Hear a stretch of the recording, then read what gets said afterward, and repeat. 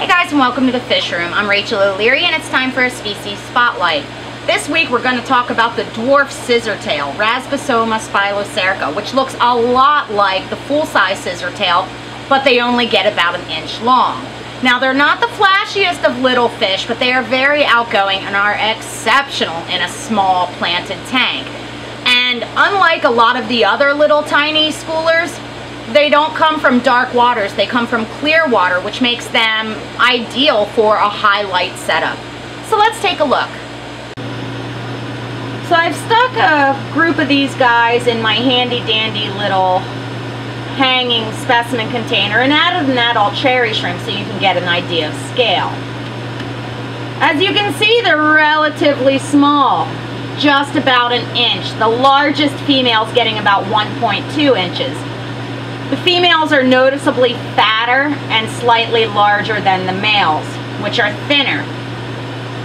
And the males can get almost a pinkish color with a yellow tinge to their fins when in breeding dress. Now these guys take a range of temperatures, anywhere in the 70s really, with mid 70s being ideal. Despite their small stature, they're extremely easy to feed, really eating any dried foods in the wild, they would eat small insects, zooplankton, worms, things like that. Now they come from the lower Mekong Basin in Thailand and Cambodia where they're found alongside fish like Boraras, wild bettas, trigonostigmas, and loaches like kuhli loaches. Unique to other small fish, these guys are found in clear waters which makes them ideal inhabitants for a high-tech, high-light setup. The waters that they're found in are relatively shallow but have thick planting. Again, this makes them perfect for a small, brightly lit, heavily planted tank. And while they're not as flashy as a lot of the other small fish, they have a subtle beauty with that scissor tail that I just find really appealing.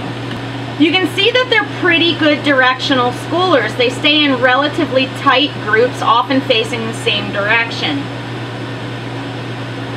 They're egg scatterers, meaning they exhibit no parental care and when conditioned properly will routinely spawn. You would want to mop spawn them if you were trying to raise a lot of them. Just an interesting, small, versatile fish that I believe deserves a lot more popularity in the hobby. Thanks for watching. Make sure you hit subscribe so you don't miss any of my bonus videos as well as my Tuesday tips and Sunday species spotlights. Make sure you stop by my Facebook as well as my website, MsJinx.com, where you can find my upcoming speaking engagements, my current stock list, and information on all things nano. As always, let me know below if you have any comments, suggestions, or questions.